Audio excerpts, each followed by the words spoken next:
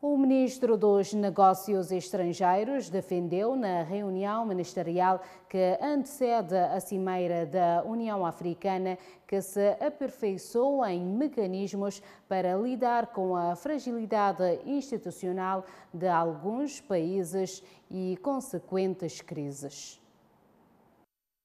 A fragilidade institucional de alguns dos Estados da União Africana, para Rui Figueiredo Soares, é uma questão crucial que deve ser olhada de outra forma e ver em que medida mecanismos já existentes poderão ser aperfeiçoados. Sem instituições fortes e resilientes, não pode haver democracia nem desenvolvimento sustentável, acrescentou o governante, assegurando que o apelo pode parecer um tanto utópico, vista a conjuntura, mas parece inevitável lançar pelo menos um novo olhar sobre esta questão que considera ser fundamental. A atual presidência da União Africana entrega às Ilhas Comores chega ao fim sem ter conseguido prevenir a proliferação de golpes de Estado na África Ocidental e o avanço do fundamentalismo islâmico, quer na África Ocidental, quer na parte oriental do continente.